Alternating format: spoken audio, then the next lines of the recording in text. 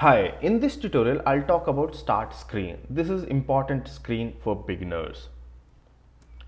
So this screen contains two sections, one to create content another one is a tool sections. This sections contain mix of options.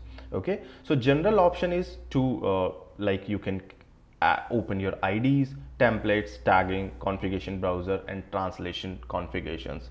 The number, we'll see this uh, one by one later as and when we need.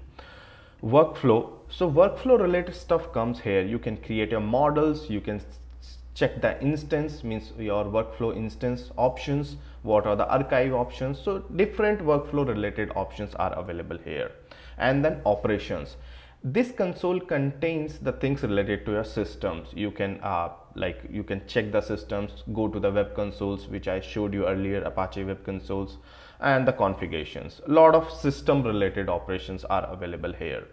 Sites. Where the options are available for sites like blueprint. We'll see what is that blueprint launches context hub. These are some important things. Assets right assets are related to upload your assets. We'll see that in the same uh, tutorial. So like you want to see some custom metadata profile. What are those custom metadata and profiles? We'll see that. Okay? If you wanna if you wanna create customize something related to your assets you can do here and these are the resources available. These are related to your deployment. Let's say if you want to create replication agents when you want to move content from author to publish so though you can create replication agents package share other stuff.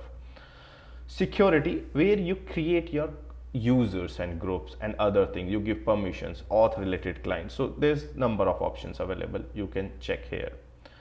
These are the configurations. If you want to create configurations basically cloud configurations so you can do here. And the option to communities and the commerce. Commerce is a section where when you use commerce related stuff with AEM so uh, these are things here like to set up payment and all. So another section important is to create content here. So if you see the project project is specifically this contains some jobs if you create a project you can define jobs here. Let's say you can define translation jobs and other jobs inside this. So if you see open so you will see the project and folder. And inside this project once you are done uh, you can see the options to create a different kind of jobs. Okay let me show you. So here the number of types available. And if you add you will see options different options to create different kind of uh, jobs sites is basically the most important section of this consoles. Here you can create different sites. Means you create pages sites and all. You maintain sites here. We will have a separate tutorial just for this section. Okay? Let's go back. And the experience fragments. Experience fragments uh, i'll explain later but you can create experience fragment here. Assets.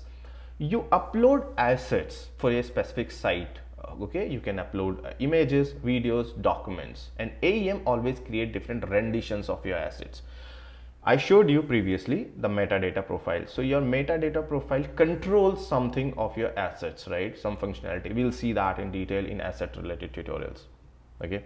And next one is forms. So you can create forms here but by default forms are not available. You have to get a add-on package from adobe share or adobe download center and you have to install that on your aem this package is specifically for your os so if you are running on mac you have to download specifically for mac mac machine. So now then you can create your forms. Another one screens. We'll see that later. Personalization. If you want to you know do some personalization with AEM you can perform those activities here. And the commerce.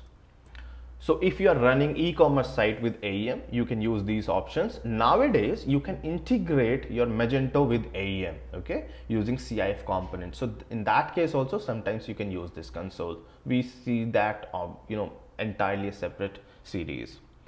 And the communities. Communities related stuff you can do here your top navigation bar also sees some important information. So if you see from the right hand side, this is the logged in user. What is the user? Here you can see the notifications. this is important this question mark icon if you click on this you will see some options for help and the important is second last so here you can see the version currently running version so let's say if you install a service pack called 6.5.13 so once you install the version would be available 6.5.13 so you can see the version number here.